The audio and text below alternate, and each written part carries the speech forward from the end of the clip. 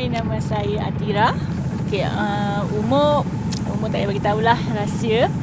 Okey, uh, start berkecimpung dalam pemotoran ni uh, 4 tahun. Eh, tak adalah 4 tahun. Maybe dalam 6 tahun lepas KLX Kawasaki 350. Lepas tu sekejap je lah dalam setahun, setahun dua. Then um, after 4 years baru start ambil KTM. Duke 250. Thank you.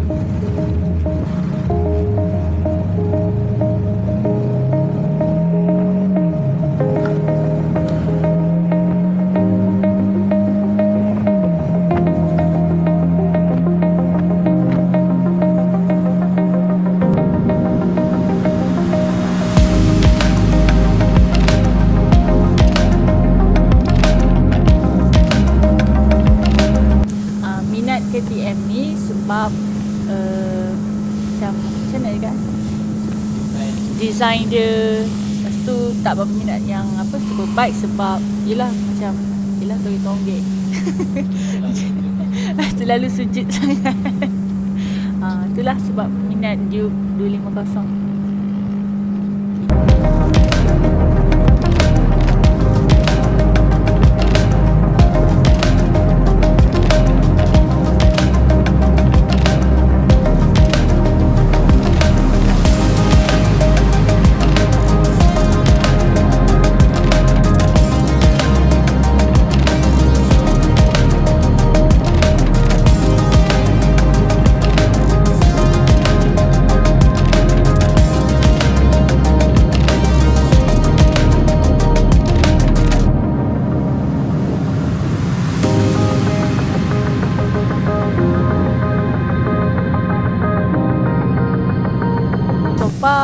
pakai KTM ni best lah pick up macam style sikit. Dan handling dia pun best.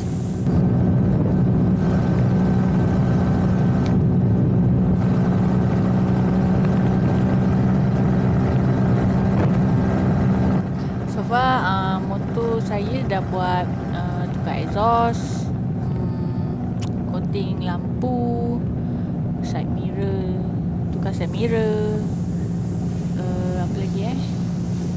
mesti yang tu juga. Ha, air filter BMC then uh, buang echo. Buang echo lah echo yang panjang kan? Ha, so dah tak ada echo.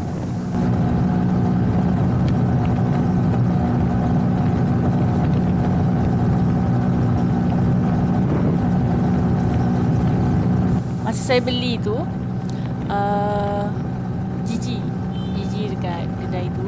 MKS lah. MKS Sentul uh, terus dia masukkan dalam grup KLS KTM Line Squad.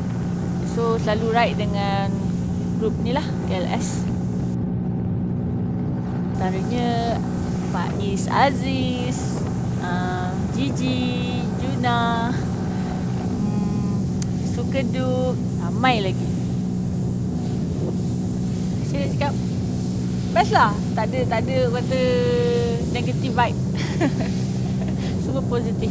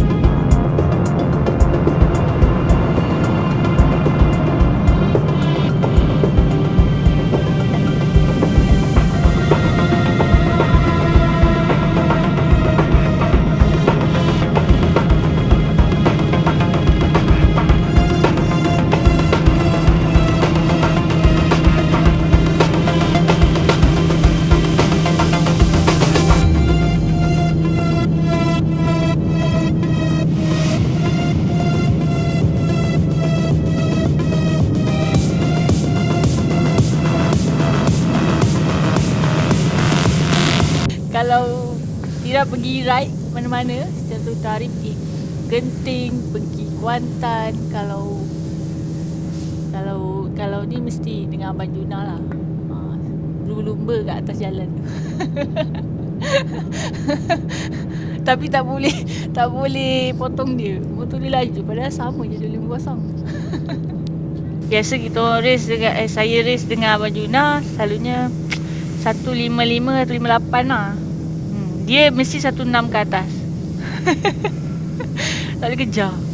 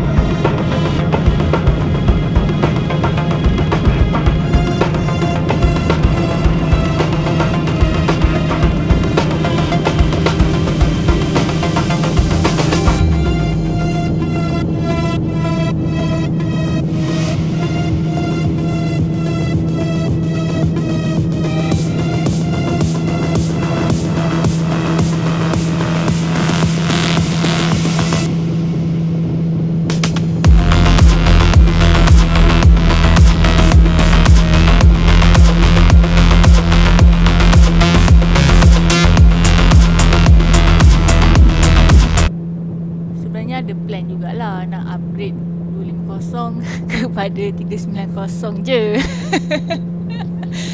Tapi tak tahu lagi lah.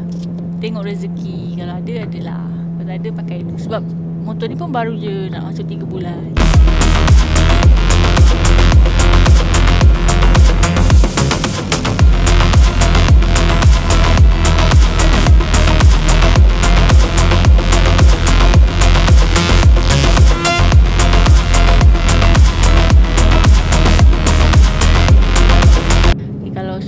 petang lah kan. Maybe dia 5 uh, KTM ni 9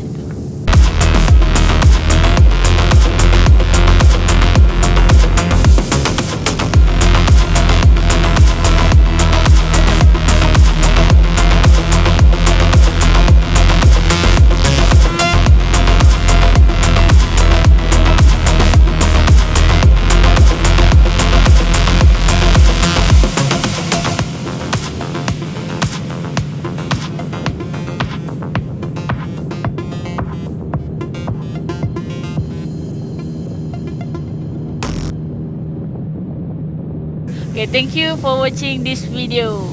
Hopefully kita akan jumpa lagi next video. Okay, ciao. Assalamualaikum.